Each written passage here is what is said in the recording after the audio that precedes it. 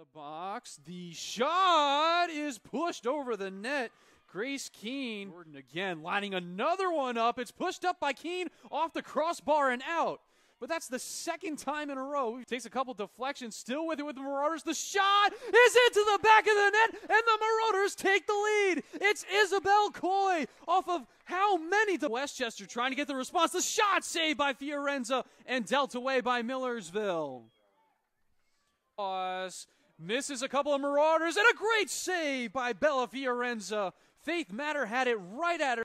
The backup shot and Fiorenza another save. on the edge of the box. The shot off the crossbar falls for the Marauders in the back of the net, and the Marauders retake the lead. What chaos here! That one played in. Fiorenza lost it, just trailing towards the line. A great stop by the Marauder defense. Fiorenza was left out.